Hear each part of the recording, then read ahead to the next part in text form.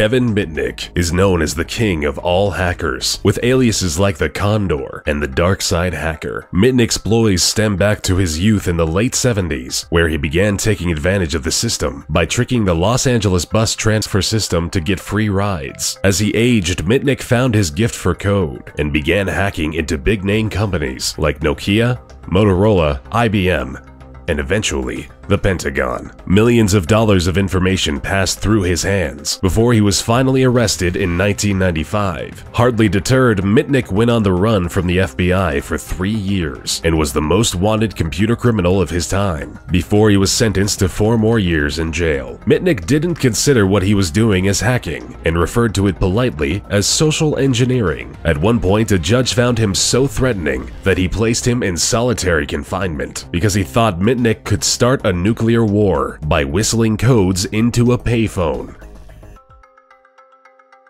The dangerous British hacking duo of Matthew Bevan and Richard Pryce took the world for a potentially deadly ride for several weeks in their youth back in 1994. They began by attacking the Pentagon's network for several weeks and progressed further by stealing battlefield simulations. If that wasn't enough, they started intercepting messages from US agents stationed in North Korea and accessed sensitive material from a Korean nuclear facility. This was all incredibly alarming to the US because at the time time, Pryce and Bevan were using US systems to infiltrate information from Korean systems, which, simply put, nearly sparked an international incident.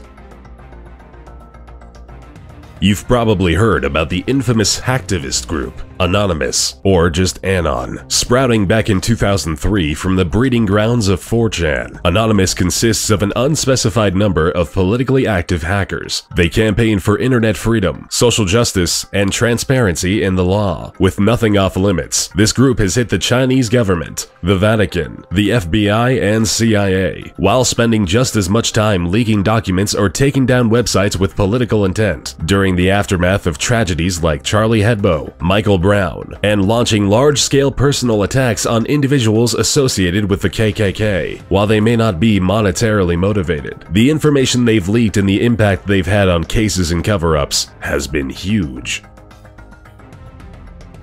Little is known about Astra, which is the net alias of this notorious hacker who spent half a decade in the mid-2000s stealing high-profile weapons technology data and software. Astra would quickly sell this information to people and organizations across Brazil, South Africa, the Middle East, and the rest of the world. While no one knows how much money he was able to make or where it went, the damages he caused are estimated between 250 and 361 million dollars. Strangely, even after all of the destruction caused. Astra was never publicly identified, even when Greek authorities arrested and detained this threatening hacker in 2008. Speculations and rumors say that he is a 58-year-old Greek mathematician and is serving six years in jail.